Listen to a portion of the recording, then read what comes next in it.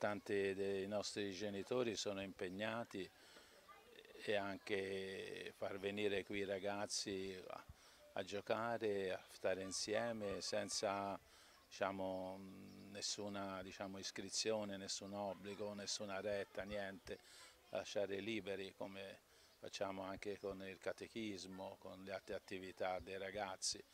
La cosa importante che io sto sottolineando è che i ragazzi stiano insieme, più insieme possibile, perché corrono il rischio di essere degli isolati. Dico sempre la generazione futura sarà una generazione di eremiti, perché sono troppo soli questi ragazzi.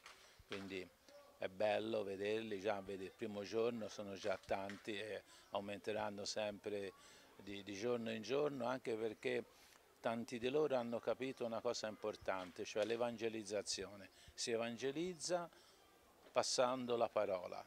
Ragazzi che ho visto già stamattina che due o tre ragazzi hanno portato altri cinque o sei ragazzi che finora non frequentavano neppure la parrocchia, ma il passaparola, ecco, dire venite, come dice Gesù a, a Giovanni, ecco, venite e vedrete.